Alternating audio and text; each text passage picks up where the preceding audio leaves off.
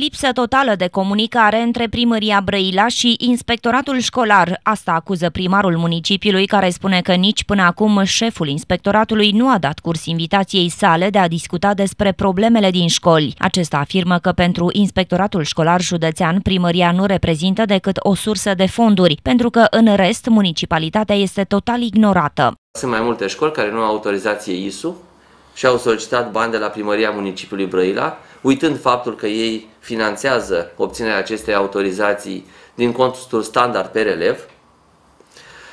Ne așteptăm ca și trebuiau să ia măsuri până acum, nu să aștepte începerea anului școlar ca să ceară bani de la primăria municipiului Brăila cu două săptămâni înainte. Dar noi suntem numai buni de plată, atât. În rest, noi nu suntem consultați când sunt probleme. Este o lipsă de comunicare din punctul meu de vedere. Edilul a mai adăugat că atitudinea inspectoratului s-a extins și la unitățile de învățământ din municipiu, care îi ignoră pe consilierii locali din consiliile de administrație. Eu chiar mă întreb dacă vom fi invitați uh, cu noi consilierii municipali, primarul, viceprimar la deschiderea vreunei școli având în vedere această colaborare. De la începutul acestui an, primăria Brăila a alocat suma de aproximativ 89 de milioane de lei noi pentru reabilitarea unităților de învățământ din oraș, iar cererile directorilor curg încă pe mailul primăriei.